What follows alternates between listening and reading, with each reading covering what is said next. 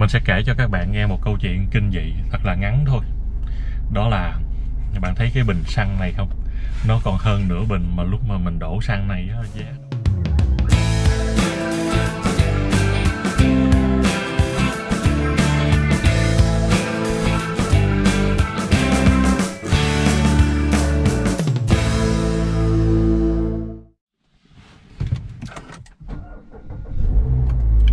Hello, xin mến chào các anh em, đây là kênh Sống TV Hôm nay mình ngồi trong xe mobile phone. Mỗi lần khởi động lên nó thì cái này nè Camera hành trình nó hay nói linh tinh gì đó. Lâu ngày quá Không leo lên xe. Thì hôm nay mình vô xe các bạn. Nó chỉ có hai mục đích. Mục đích thứ nhất là khởi động xe cho xe nó nổ máy chơi một tí. Hôm nay cũng là ngày thứ mười mấy rồi. Đậu xe ở nhà, chẳng làm gì cả.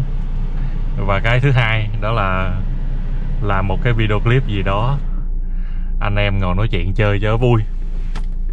À, thì thôi, ngồi trong xe rồi thì bây giờ ngồi bán nhau chuyện gì giờ? Hôm nay thôi mình nói về vấn đề là mua xe cũ đi ha. Trước đây mình có một video clip mình nói về vấn đề đó là bạn nên mua xe cũ hay mua xe mới thì đối với mình á, mình vẫn thích là mua xe mới hơn. Bởi vì sao? Có thể vay ngân hàng được rất thoải mái. Và thêm nữa đó là cái việc là mua một chiếc xe mới á, mọi thứ nó hoàn hảo nó an toàn. Bạn có cái gì bạn có cái sự bảo hành của hãng rồi đã lo mọi thứ. Cái việc của bạn đó là yên tâm sử dụng chiếc xe cho công việc cho cuộc sống của bạn. Ha. Không có việc là ngồi hôm nay lái không biết tới nơi không có nằm đường hay không? Ờ, nếu nằm đường thì giải pháp làm sao?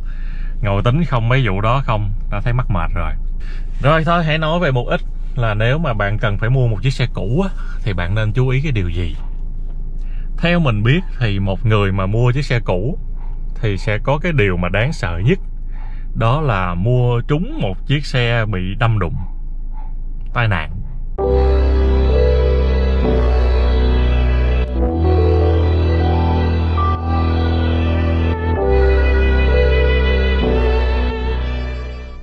Và cái việc đó đó các bạn thực sự là ở Việt Nam rất dễ bị dính. Mình có thể khẳng định với các bạn điều đó. Ở Việt Nam có ba thứ rất nguy hiểm khi mà bạn mua một chiếc xe cũ. Thứ nhất đó là xe taxi hoàn lương. Tức có nghĩa là taxi sau cái thời gian sử dụng á, thì họ repair họ làm mới lại tân trang lại để bán ra thị trường. Và với một cái câu quảng cáo là gì gì đó đại loại là 99% like new. Rồi, cái thứ hai, đó là một chiếc xe bị đập đụng, tai nạn. Đó. và cái khả năng phục chế của người thợ Việt Nam ghê lắm các bạn.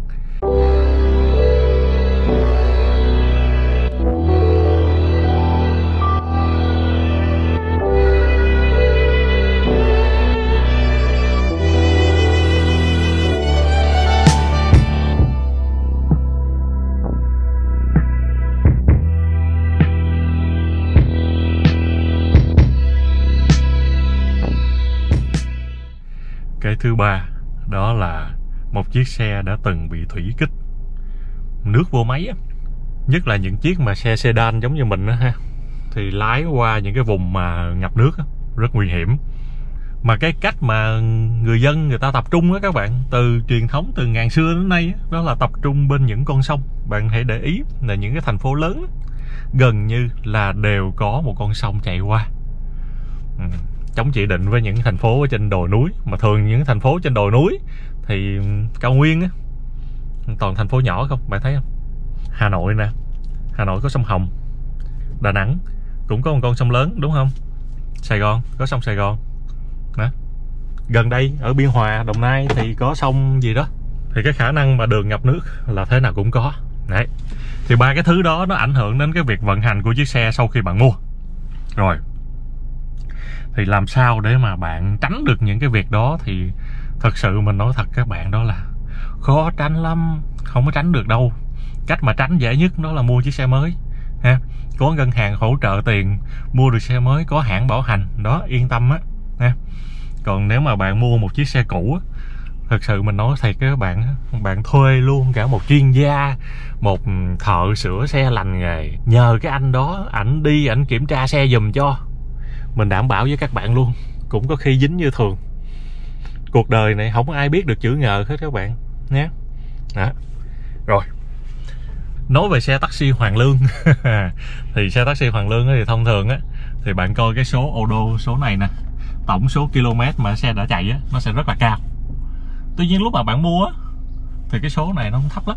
Nó thấp đâu đó tầm khoảng nhiêu đây nè 22 ngàn. Thì cái yếu tố mà đầu tiên mình muốn nói các bạn đó là nếu mà bạn coi cái số ô đô này á nha cộng với cái cà vẹt đăng ký xe.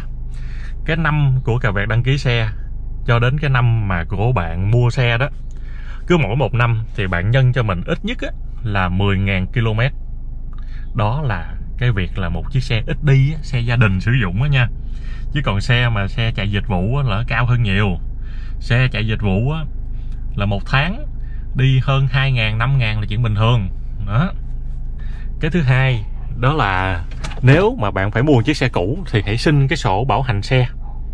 Ở trong sổ bảo hành á có một cái khoản đây lịch sử lịch sử đây có cả cái tờ mà thay đổi công tơ mét nữa nè. Mà nếu mà thay đổi trong hãng á, thì thế nào cũng bị dính thôi. Đây những cái lịch sử nhật ký bảo dưỡng định kỳ. Này cứ mỗi lần bảo dưỡng trong hãng là đều phải có những cái dấu này hết.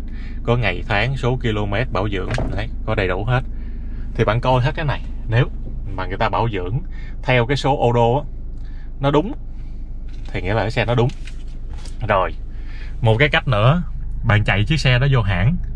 Bạn nhờ hãng test, bạn sẽ tốn ít phí.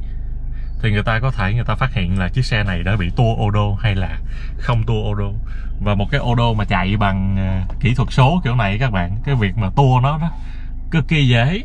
Yeah rồi cái đó là mình nói về cái vấn đề là mua một chiếc xe cũ và đảm bảo mọi thứ đó là họ không đâm đụng chỉ có coi số ô đô hay coi lịch sử bảo dưỡng. Thế thôi. Đó là một chiếc xe rất an toàn.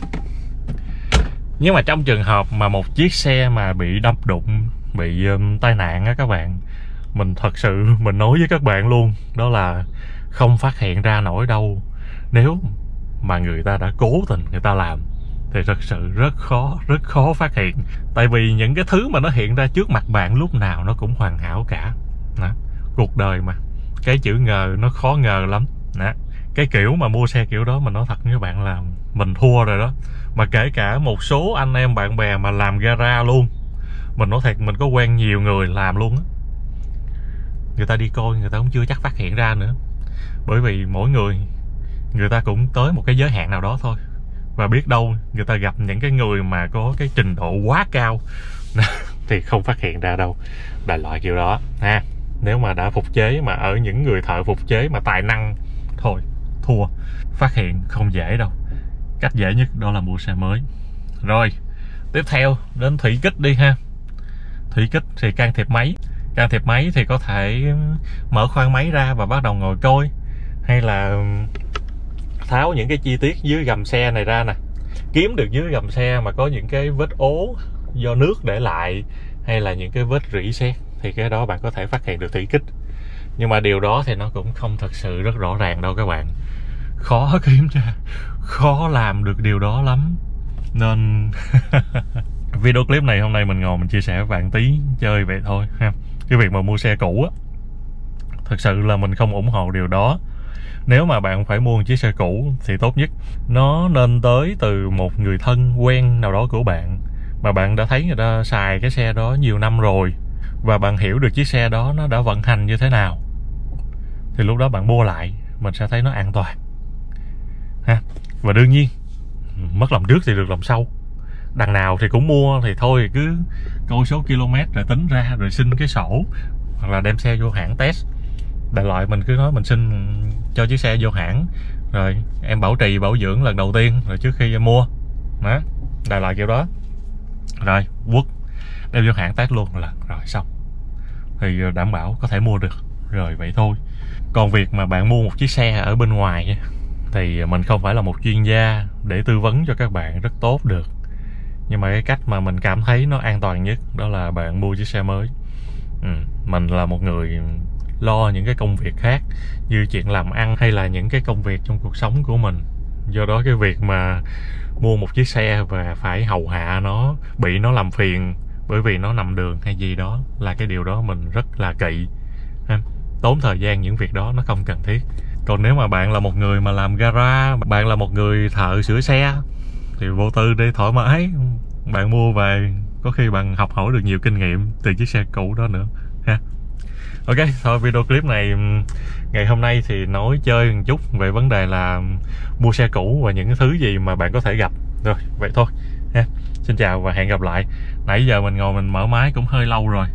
Này không khí cũng đã mát lạnh ở trong này rồi. Thôi thì bây giờ tắt máy thôi, đi ra. Mình sẽ kể cho các bạn nghe một câu chuyện kinh dị thật là ngắn thôi. Đó là, bạn thấy cái bình xăng này không? Nó còn hơn nửa bình mà lúc mà mình đổ xăng này giá đâu đó tầm khoảng 19 ngàn lít á. Mà tới giờ nó còn nhiêu đó nó chưa cho mình đi đổ xăng lại. Mặc dù giá hôm nay á, là dưới 12 ngàn rồi. Khổ quá. Thiệt là kinh dị. Ok thôi chào tạm biệt. Goodbye. Và chúc anh em ngày mới tốt lành.